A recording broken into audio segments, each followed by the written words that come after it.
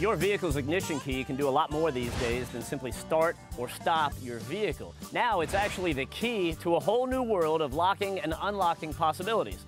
Look, if you're anything like me, you've got keys for everything. And you may have multiple locks, which in turn have multiple keys. You've got to keep track of all that and not lose it. Bottom line is you eventually end up with a big old mess like this.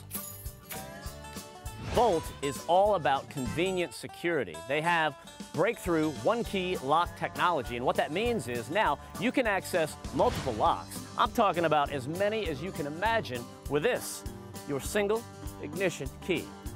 When you buy the bolt lock, you'll notice it does not come with a key. You simply slide in your vehicle's ignition key and turn it one time around, clockwise to the right, and that lock has learned your key. It's just that simple. These padlocks have a million different uses, and these cable locks are a great way to secure virtually anything inside the bed of your truck. Now we can take a look at the hitch. Back here, we've got the hitch pin lock, which will actually lock the hitch to the truck.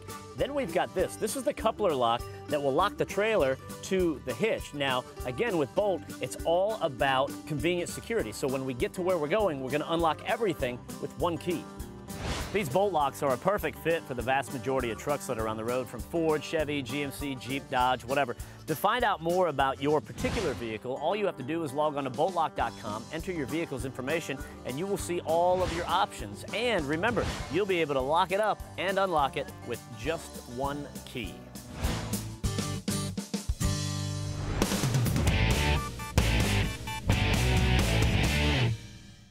You can visit these websites to learn more about the participants on this edition of Designing Spaces.